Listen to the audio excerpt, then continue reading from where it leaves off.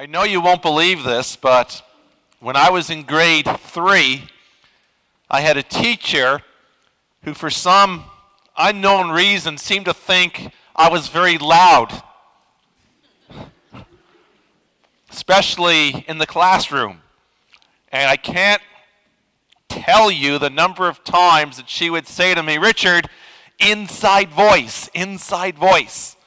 And uh, I've told Yvette that story, and so it's carried over. Sometimes we're in a restaurant and we'll be talking back and forth, and I guess I can be a little bit louder than I anticipate. And Yvette will lean over and say, Honey, inside voice. well, this right now, for a couple of minutes, I want you to use your outside voice and tell me very loudly something, one thing that you're thankful for today. What are you thankful for? Oh, wow. Okay. Family. I heard family. What else? Life, health, friends, music. That's a big one today. Food. Ah, someone. Who said that? After my own heart. oh, of course, Nancy Fitch. Worship. Yes, thank you. Nancy Fitch says food. Mark Ryan says worship. oh. oh. Okay, okay. One of the Kerwin clan then. what is it? Oh, spiritual food. Nancy's trying to make up now. spiritual food. Church. Wonderful. Freedom. Yes. Friends. Big one. Pardon? Family. Thank you, Janet. Salvation. Wow, you can go on and on. Where's, where's Bill Kerwin? Oh, there he is. Bill, I know Bill is very shy. And if he weren't so shy, I know he'd be shouting out, he's thankful that so far this season, the Habs are undefeated. I did notice nobody shouted out the Blue Jays. Now we have to have faith. Tonight will be the change. Now I know we could go on and on here today, but we're going to focus on five reasons from the scriptures, from the scripture that Sandy read this morning, five reasons that the psalmist in Psalm 103 tells us that we have to be thankful. Five things we should be thankful for. Notice what he begins by saying. He says, Praise the Lord, O my soul, all my inmost being, praise his holy name. Praise the Lord, O my soul, and forget not all his benefits. Now, for some reason, question I'm going to ask you now completely threw the bridge crowd off. They, they really struggled with this one. I thought it was a pretty simple question. But tell me, let me ask you this. Tell me this. Who is the psalmist addressing in this psalm? Someone said God. That's the answer that was given in the bridge. Exactly. Himself. Look what he says. He's not talking to God right now. He's talking to himself. He said, Why is it in church, whenever a pastor asks a question, people think the answer is either God or Jesus? it's pretty safe, people think, to give one of those two answers. But in this time, he's talking to himself. He says, Praise the Lord, O my soul. He's talking to himself. He's giving himself a little pep talk. You ever do that? Praise the Lord, O my soul, all my inmost being. Praise his holy name. He says it again. Praise the Lord, O my soul. He's talking to himself and forget not all his benefits. And then he moves on and he says there's five things that he wants his soul, his inmost being, to be thankful for. And notice the first one that he says, who forgives all your sins. Someone pointed that out a minute ago from over here. They said salvation, who forgives all your sins. Now, those of us who have been a Christian for a while, it's easy to begin to take this for granted. And I know it's easy for me. And it's not until those wonderful moments when I see a person put their faith in Jesus Christ for the first time and experience the joy of having their sins forgiven. I see some of the choir nodding, they know what I'm talking about. Of having their sins forgiven, that I realize afresh the joy of the forgiveness that we have in Christ Jesus, who forgives all your sins. Many of you know of the Christian writer Philip Yancey. You know Philip Yancey? He tells a wonderful story of a young teenage girl who grew up in Traverse City, Michigan. And around the age of 15, she got sick and tired of her parents' rules. They didn't, they complained about her nose ring. They complained about the length of her skirts. They complained about uh, the boyfriend that she had. They complained about her, the color of her hair and she got sick of it and she decided it's time for me to leave home. And so she ran away. And she made her way to Detroit. And in Detroit, a man happened upon her who treated her very, very nicely. She came to call him boss. He took her to a restaurant. He gave her a nice meal. He took her back to his place. He gave her a place to stay. He put a roof over her head. And of course, he was doing it for ulterior means. He knew that a young girl like her would earn a premium for him. And very soon, he sent her off to do tricks for him. And this went on for a while. She eventually became addicted to drugs. And during a period where she became very ill, he kicked her out, and she quickly realized just how important or unimportant she was to him. And she found herself one night in the middle of Detroit in the downtown area. It was cold, she was shivering, she was trying to get a little bit of warmth through a grate in the sidewalk. And eventually the thought came to her, and she said, My cat back home is warmer and better fed than I am right now. And she decided to call home, and she called her mom and dad up very scared. And no one answered, and she left. She, she, she just hung up. And she called later a second time, didn't leave a message and a third time and a fourth time. Nobody answered. Finally, she called a fifth time.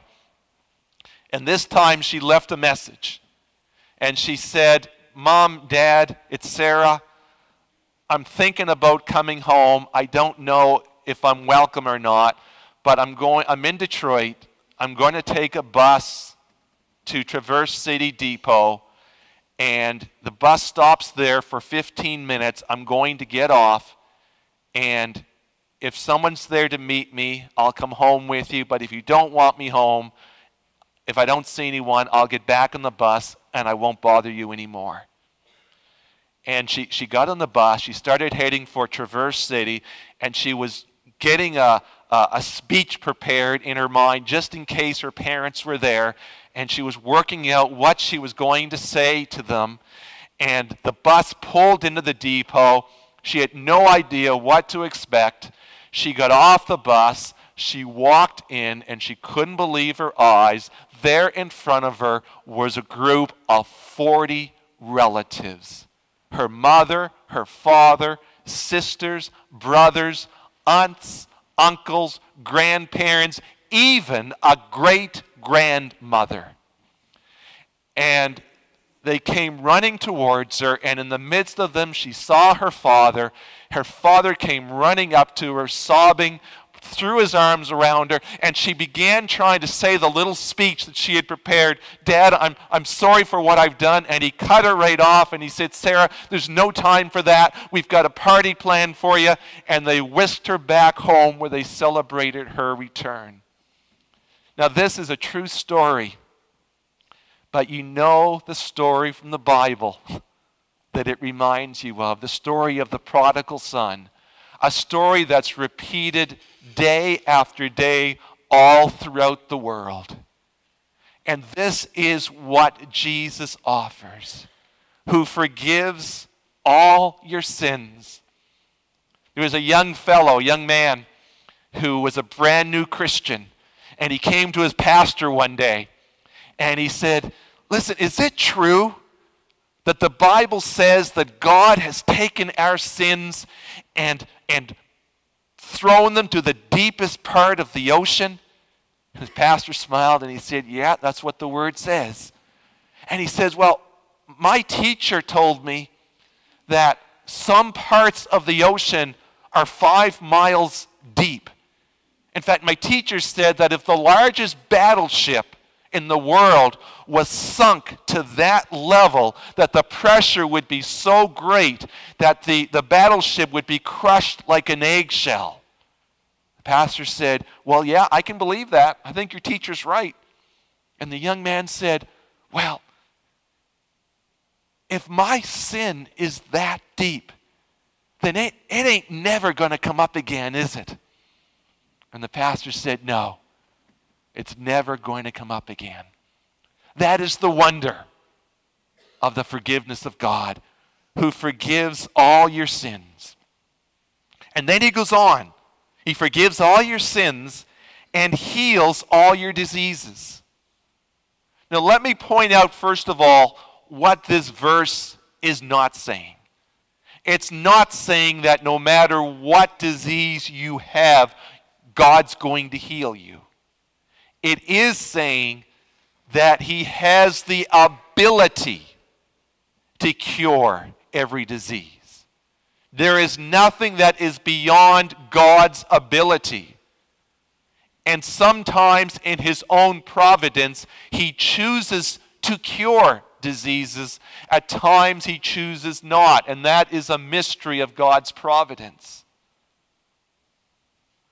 But remember, too, so that's the first thing I want you to understand. The second thing is remember what we said at the very beginning. Remember who he's talking with here.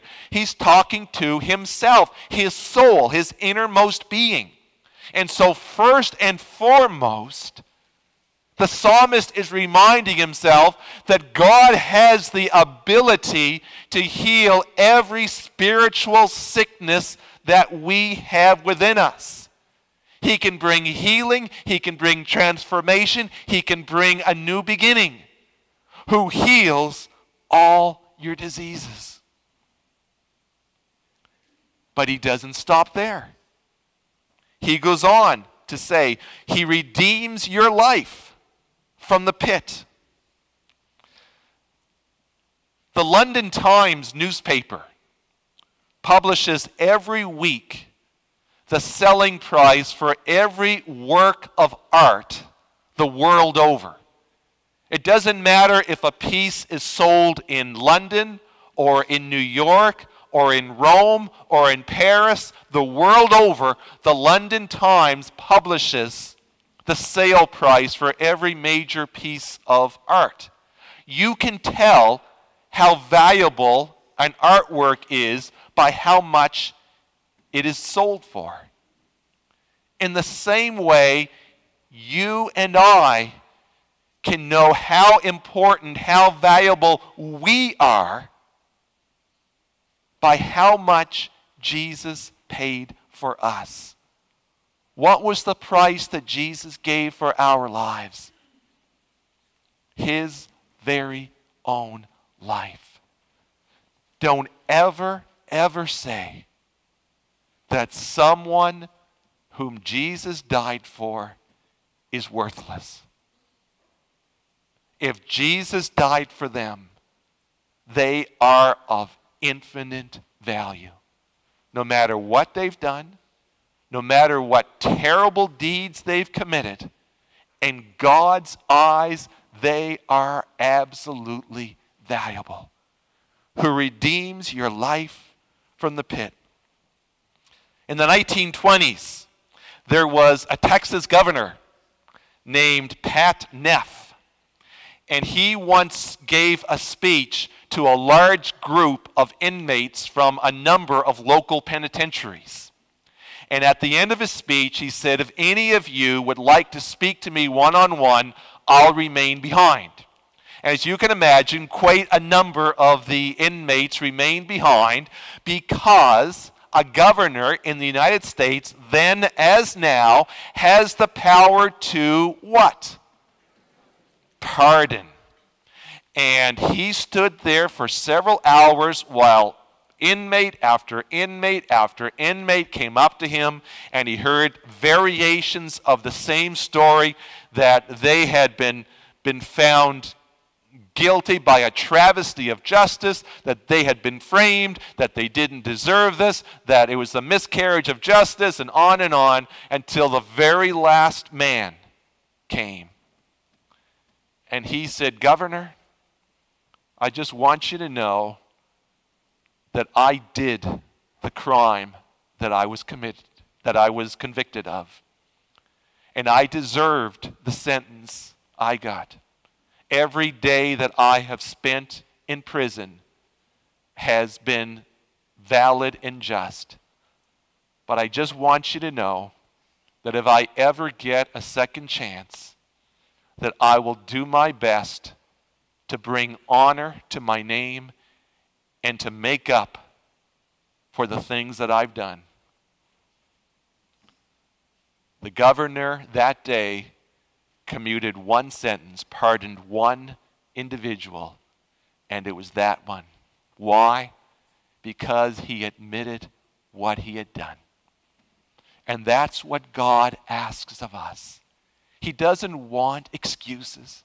He doesn't want rationalizations. He doesn't want justifications. He simply wants us to say, I am a sinner. I have done wrong things. I have done things I shouldn't have. I have left undone things I should have done. I am wrong. I am convicted. I am due any punishment that you hand down to me. And when we do that, he condemns us? No. He pours out his love and his forgiveness upon us, who redeems your life from the pit. And then he goes on and crowns you with love and compassion. Pastor, I was reading I like to read other pastors' sermons. I was reading about a pastor um, from the 19th century who told a story of a young man in his 30s who had been a tramp and begging for many, many years. And uh, one day he got off a train at, in Pennsylvania. And he was very hungry and he saw another passenger there getting off the train. He saw him from behind and he went up and he knocked tapped on his shoulder and he said, Sir, can you spare a little money for some food? And the man turned around and they both stared at one another. The young man realized that he had tapped the shoulder of his father. And his father's eyes filled with tears. And he said over and over again, My son, my son, my son, my son. And he told him, I have been searching for you for 18 years. Everything I have is yours. Who crowns you with love and compassion. And finally, he reminds himself that God satisfies our desires with good things so that your youth is renewed like the eagles. I love Thanksgiving. I love it because it's a reminder to me of all the blessings that God has given to me. And I will admit that there's a one, another reason why I love Thanksgiving, and that is because I am married to the best cook this side of the Rocky Mountains. And on holidays, particularly, she pulls out all the stops. And she makes the best Thanksgiving meals that I can imagine with all of the fixings. And the funny thing is that I find her meals very, very satisfying, but at the same time, I'm never satisfied, which is one of the reasons I struggle with my weight. They're satisfying, but I'm never satisfied. And that is what the psalmist is saying about the blessings of the Holy Spirit, who satisfies your desires with good things. We talked about this a couple of weeks ago when the Holy Spirit pours out his presence upon us when we come to know him. There is nothing in our lives so satisfying. And yet, you will never be satisfied because you will never plummet the depths of your relationship with God. Every time you get to a lower level, you'll find that there is another level below that of intimacy and love and relationship. There is nothing more satisfying, but you will never be satisfied. Praise the Lord, O my soul. All my inmost being praise his holy name. Praise the Lord, O my soul. And forget not all his benefits, who forgives all your sins, heals your diseases redeems your life from the pit, and crowns you with love and compassion, who satisfies your desires with good things, so that your youth is renewed like the eagles. We have so much reason today and every day to be thankful. Let us pray.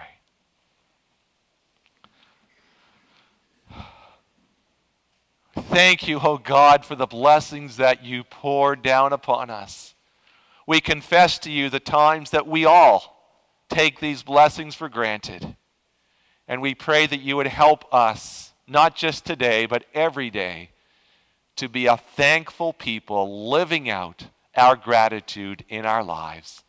Thank you, Lord, for who you are and for all you've done. In Jesus' name, amen.